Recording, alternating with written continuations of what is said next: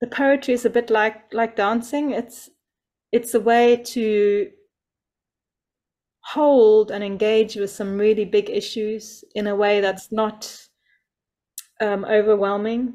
Like somehow the dance, when we're moving, when we're in our bodies, and also the poetry, a poem can touch some really big questions mm-hmm. without needing to answer them, without needing to resolve them, but simply to be with, to move with, to to look at from a slightly different angle. It's kind of for me, it's like a way of being with the mystery of life.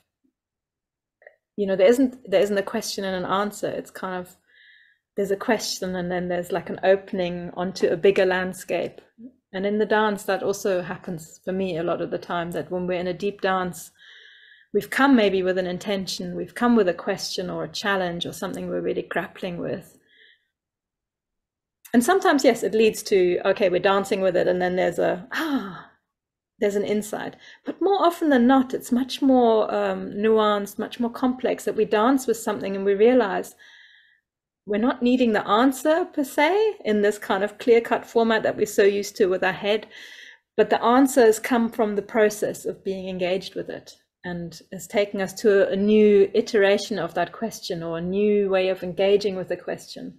And that in itself leads us leads us on and that in itself is helpful. But it's not something that we can resolve with our mind. And for me that's the beauty of having the poetry is is for me so much of a way of inquiring that doesn't need an answer and that also takes us into the feeling.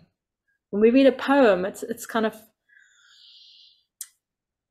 can touch us in a way that maybe a, a novel or a, a, film or a story doesn't because it's so potent so concentrated it's almost like a, an image of a point in time that that really captures a lot of different different threads Mm.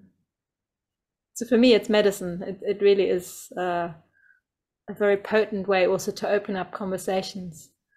So during the during the pandemic, at some point, I set up this group because I realized for me poetry is so important, and a, small group of people kept meeting around once a month, and everyone brought a poem that had spoken to them. What what I realized, which I couldn't have predicted, was that through engaging with the poetry, what happened was we created this beautiful space of intimacy and sharing between us that went far beyond any specific poem.